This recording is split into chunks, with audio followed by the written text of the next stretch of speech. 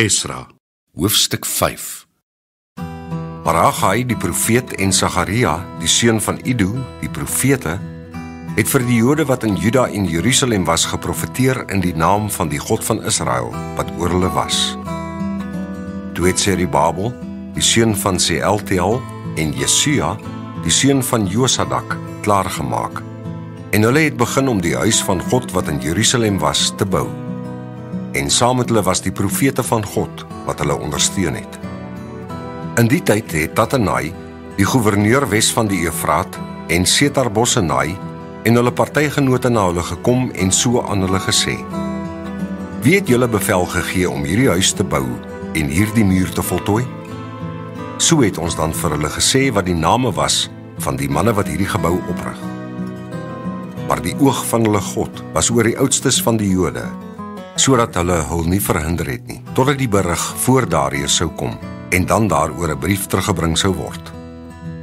'n Afskrif van die brief wat Tatenai, die goewerneur Wes van die Eufraat, en Setar-Bossenai en sy partygenote, die Afarsegaite wat Wes van die Eufraat was, aan koning Darius gestuur het. Hulle het aan hom 'n berig gestuur en so was daarin geskrywe: Aan koning Darius, alle heil Aan die koning word bekend gemaak dat ons na die provinsie Juda, na die huis van die groote God gegaan het. En dit word van groot klippe gebou en hout word teen die mure gelê. En daardie werk word sorgvuldig gedoen en vorder goed onder hulle hande. Toe het ons daardie oudstes gevra. So het ons aan hulle gesê: "Wie het julle bevel gegee om hierdie huis te bou en hierdie muur te voltooi?" Verder het ons vir hulle ook al name gevra om u bekend te maak dat ons die name van die manne wat aan hul hoof staan kan skrywe. En hulle het ons die volgende antwoord gegee en gesê: Ons is knegte van die God van hemel en aarde. En ons bou die huis wat baie jare gelede gebou is, wat 'n groot koning van Israel gebou en voltooi het. Maar omdat ons vaders die God van die hemel vertoren het, het hy hulle oorgegee in die hand van Nebukadneser koning van Babel, die Galdeer. Hy het hierdie huis verwoes en die volk na Babel weggevoer.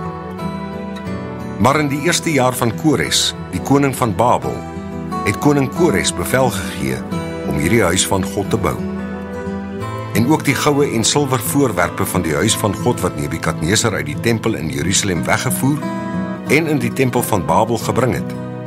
Dit het koning Kores uit die tempel van Babel uitgehaal en dit is oorhandig aan een met die naam van Sesbassar wat hy as goewerneur aangestel het. En hy het vir hom gesê: "Neem hierdie voorwerpe, gaan sit dit in die tempel in Jerusalem en laat die huis van God gebou word op sy plek." Toe het hierdie Sesbassar gekom. Hy het die fondamente van die huis van God in Jerusalem gelê en van toe af tot nou toe is daar gebou, maar dit is nog nie voltooi nie.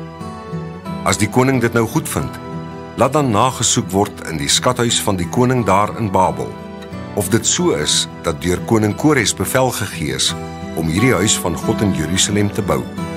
En mag die koning sy beslissing hieroor aan ons stuur.